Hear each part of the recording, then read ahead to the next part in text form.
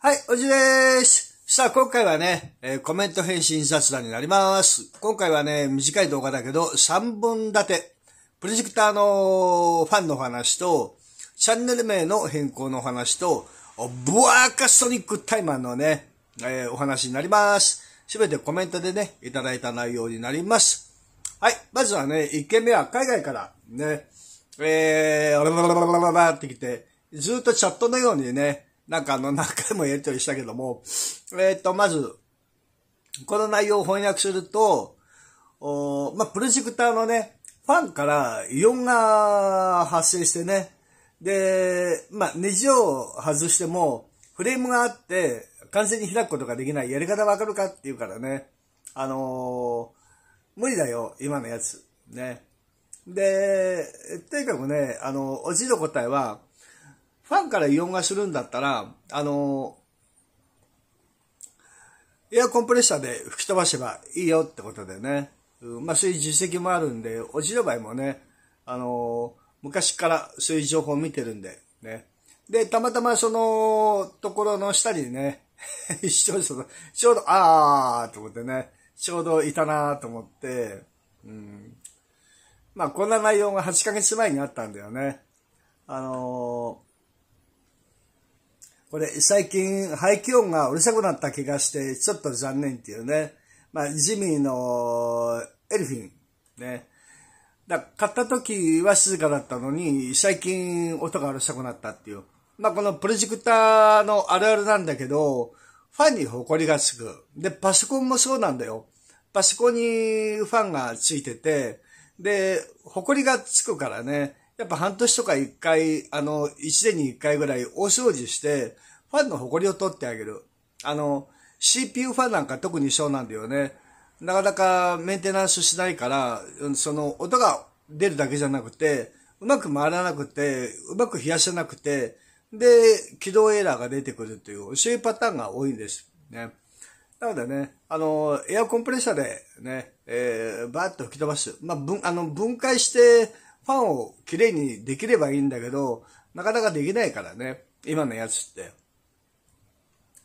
ね。なので、あの、おじいはね、エアコンプレッサーで吹き飛ばしたらって言ったら、あの、まあ、特殊なネジでね、開けられないからコンプレッサーで吹いたら元のように静かになりましたってことなんで、まあ、そんなもんなんだよ。ね。まあ、あの、パワーが薄いと吹き飛ばせないかもしれないけど、ある程度のものだったら吹き飛ばせるんだよね。で、肝心の、この人はどうなったのかっていうと、長いやりとりの結果、うん、あの、物理的にぶちけたか何かで当たってる音がするっていうんだよね。だーと思って。ね、自然故障だったら、あの、有名詞だったら、ね、保証でちゃんと新品を送ってくれるんで、またあの、アリエクスプレスで買ったし、あの、地域がどうのこうのって、まあ諦めてるんでね。まあ、まして自分でぶつけたってことがだんだん白状してきたからね。だ本当にね、あの、片言しか言わないから、わからない。あの、見ればわかると思うよ。すごい長いキャッチボールしてるから。だだんだん自分が壊したっていうことを白状してって、で、接着剤でくっつけてね、いや、開けられない。もう今当たり前なんだよね。中の工場の秘密と、あとあの、不正な、壊れたって交換とかね、あの、不正防止のために分解できないようになってるんで、ね。まあそんな感じで、まあプロジェクターのファンがただ単に自然にうるさくなったんだったら、エアコンプレッサーで吹き飛ばせば綺麗になるよ、あの、音が静かになるよっていうお話です。ね。はい。で、こちらはね、10時間前に、うん、旧チャンネル名のコレちゃん RC コミュニティチャンネルへ変更しました。ね。コレちゃんの RC、ラジコン時期のね、うん、まあコミュニティチャンネルへ変更しました。ね。ラジコンで育ったチャンネルなのに名前捨てちゃって、あの、外人さん向けの交流チャンネルにしちゃったんで、ちょっともったいないな っていうね。まあ本当あの、こういうチャンネルになったんで、あの、外人さんいらっしゃい、コミュニティ撮ろうよっていうね、そんなチャンネルになってしまいました。ね。うん。なんかモルモットかなんか大好きな女の子みたいなね、絵を使ってね、コミュニケーション取ろうよっていうね、まあそんなチャンネルに変更したらしいです。で、まあ206本の動画、232人の視聴者さんがいて、おじいのチャンネルより再生回数回ってんだよね。で、最新、最近の動画はなんか護身術教えたくなっちゃったみたいで、あの、まあ、チャンネルの育ちから言うと、やってはいけないことを、や、また始めたくなっちゃったっていうね。まあ、新しいもんから見ると、最近このね、ラジコンこんなに増えたよっていうね、まあ動画を最新で出してたんだけど、まあここでちょっとこれを出したくなっちゃったっていうね。まあなんかコミュニケーション取りたくなっちゃうんだね、これね。で、ここまではずっと、こういう感じでラジコンの動画をね、こうやって作ってて、もうこれ、あの、スキップしてないよ。そのまんまだよ。ね。ラジコンの動画。ね。ここでもう固定の視聴者さんがついてて、固定のコメントもね、あのー、来てるので、まあ、たまにスイカ食べたりね、あのー、ビール飲んだりの動画もあるけど、うん、ね、まあ、本当動画で。ただ、このチャンネルはラジコンがすげえメインなんで、あの、本当はコミュニティはサブチャンネル作るとか、あの、せっかくコミュニティってあるんで、そこを使ってやりたりするのが、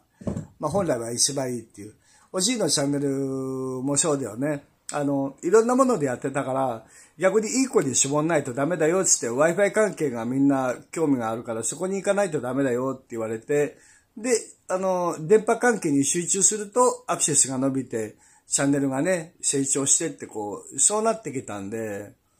で、いろんなものをやってると、おじいはなんか紹介するのが好き、見る人は電波が好きっていう、まあこんな感じなんで、まあ何でもかんでもでやってると成長しないし、ね、潰れてっちゃうよっていう、まあお手本、悪いお手本のチャンネルです、おじはね。うん、結構ね、ラジコン系ってほったらかしとけばほったらかしとくほど、あの、検索で関連で来るんでね。で、チャンネルも今200何十人になってるんで、どんどんどんどんその、同等クラスのチャンネルの同じラジコン系の人の関連動画として乗るようになってくるんで、だんだんこう波に乗ってくるようになるんだよね、こういうのってね。なのでね、ずっとこうやってラジコンで育ってきたチャンネルなんだよね。うんまあ、これがちょっともったいないなと思いましたよってお話でした。はい。そして三つ目はね、えー、これ、バカソニック。ね。同じ症状が、HCVX ね、えー、1M でも出ました。私のカメラは明るすぎる場所で症状が見られますってことでね。本当あのー、おじいのは VX ね、2M なんだけども、ね、おじいのはもう電源入れると必ずその症状しか出ないっていう、ね。まあ、この方は明るい場所でその症状が出るよっていうね。まあ、どの道、もう電源入れると、それ、もうそういう症状だけになっちゃうからね。ただ、保証期間が過ぎちゃうと、あのパッチ交換すっごい高いんで、まあ、結局諦めることになっちゃうと思うんだけど、まあ、タイマーだよね、ほんとね。今のやつはね。まあ、もうかつてのね、メイドインジャパンはありません。ね、はい、そんなわけでね、えー、3本終わりです。えー、今日はちょっとお掃除、ね、お掃除と、あと、表の収録、ね、やりたいなと思います。えー、まあ、ラジコン系のチャンネル、なんか、ここまで育ってもったいないなーって感じするけどね、本当あた、あの、なんだっけ、ババッテリーがすぐなくなっちゃったってなんか言ってたね。あの、これね。あの、なんだろう、車で行ったら車から電源取れそうだし、その、バッテリー交換用とかさ、チャージしないのかな予備バッテリー持ってったりとか、予備バッテリーなくてもね、あの、チャージできるやつ持っていけば、で、待ってる間に他のラジコンの動画撮りながら、あの、充電してって、こう交互に交互にできると思うんだけどね。なんかちょっと、もう残念だね。本当ね。ああ、亡くなっちゃったってなんか冒頭から言ってたんで、まあ、あるあるだなと思って、ね。おじいはね、今、掃除しててね、ラジコンは、今、全部処分するとこ、うん、あの、収録で撮ったよね、いろいろラジコンね。で、一回外に持ってって収録して、で、もう置きっぱなしなんだよ。で、ひどいのはさ、9200とかは倉庫に置きっぱなしだったから、ちょっとこう、錆び、錆びちゃってね。そのまんま。うちの中に入れておいたのは、あの、まだどの子のまんまなんだけど、ね。だけど、外に置いたのはもうパチ錆びちゃったんで、まあそんなラジコンが何台か転がってるんで、全部まとめてね、うん、なんかジモティで安く出しちゃおうかなと思ってます。パチ取りでね。メルカリ出しても処理量高いんだよね、ほんと。ラジコンは今、うん、表で出してないやつ、あの、ディスプレイ用と、あとちっちゃい部屋の中で飛ばせるドローンだけあれば、もうあといらないなと思って、大きいのもいらないし、ね。うん、もう目が悪いから ラジコン無理だなと思って、ね、ちゃんと目がしっかりと見えないと、ラジコンはできないよ。本当ね。まあそんな感じでね、えー、いらっしゃい、コミュニティチャンネルにいらっしゃいってね、あの、まあ、新婚さんじゃなくても、いらっしゃいっていう場所なんで、ね、頑張ってください、本当。ね、ラジコンとは無関係なチャンネルになっちゃったけどね、うん、まあでも、こう、人ってやっぱ成長しながら、いろんな新しいものにチャレンジしたりとか、気持ちの変化ってあるからね。うん。